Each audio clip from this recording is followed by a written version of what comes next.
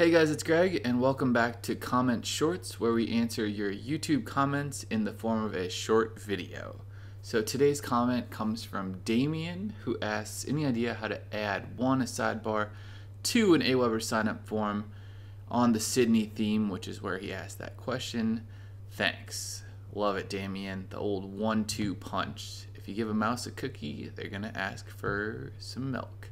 So let's get Damien his answer. And if you have WordPress blogging or website questions too, or even if they're not related to WordPress, make sure to ask them in the YouTube comments beneath one of our videos. And of course, make sure to subscribe so that you hear the answers to all these questions. Maybe yours is featured too. And so you get the latest in WordPress how to tips. All right, so let's go to the demo site where we can answer Damien's question and scroll down. All right, and now we're gonna add the sidebar on the Sydney theme. That starts by clicking Edit Page, and it's really easy. You just need to navigate over to the Page Attributes section over here, and on each page there's this section right here. And then in Template, you can just change it to Default Template and update.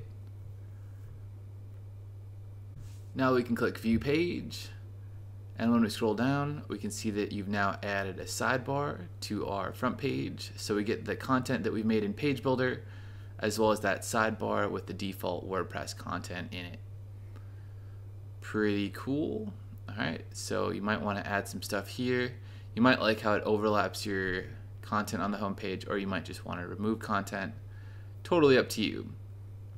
The nice thing about this sidebar is we can remove it from some pages and add it to others. So I don't like how it looks on the home page, aka the front page. So we can change that back to front page template and update. Front page template just means the full width and it's the best for showcasing, you know, a front page as Sydney envisions it. But we can go back to the site and choose something like our about page, click edit, and then we can customize just one page with the sidebar. Choose template, default template, and update. And view page. So the great thing is the Sydney theme lets you choose which pages have a sidebar. That makes a little more sense, although this gray might need to be worked with. But in any case, we've seen how to add a sidebar to the Sydney theme. While you're working on your sidebar, you might want to add that Aweber sign-up form.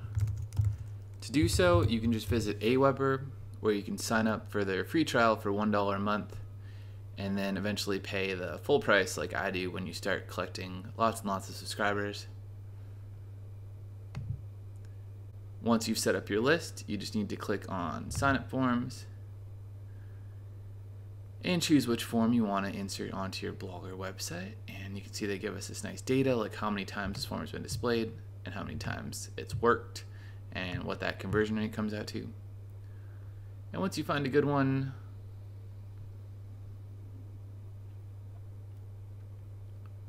like DB sidebar. You can just open it. Haven't done this in a little while, but Aweber has updated their look. It's looking good. We can just click go to step two because we already made the form and then click on publish and then click on I will install my form. You get this custom code, click it once, right click copy. We're not going to let our web designer install our form because I'll probably mess it up. And then we're going to go back to our about page and we're going to get to the sidebar by clicking Customize. Scroll down and click Widgets, Sidebar, Add Widget, and all you need is just a blank text widget at the very bottom, or the Visual Composer if you've installed the Tiny MC Black plugin, which I definitely recommend. Click Text, and in the content space, just right click and paste.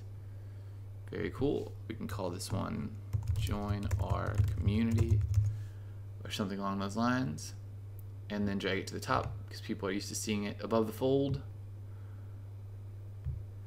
And save and publish. And when we X out and check out our about page you should notice that that form is on the sidebar and if you don't see your changes we have to turn off the WP Super Cache plugin.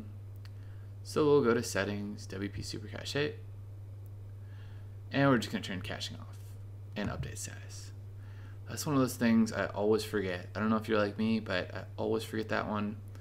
and at least I remember it now so I don't drive myself crazy like restarting the computer or closing the browser.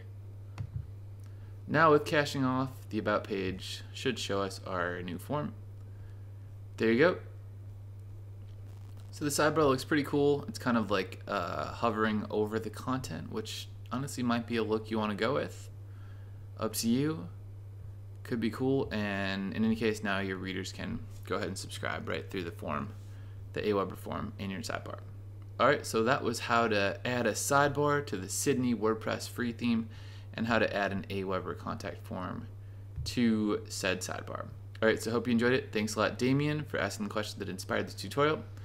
And uh, make sure to keep asking your questions because I might feature yours, or in any case, just answer it. You know, someone else might answer it. It's just good to ask when you have a question and ask quickly so you get the answer quickly. And of course, make sure to subscribe so that you get your answers and you get all the latest from our WordPress community. Alright, thanks so much for watching, guys, because I love making these tutorials for you. I'll see you guys soon.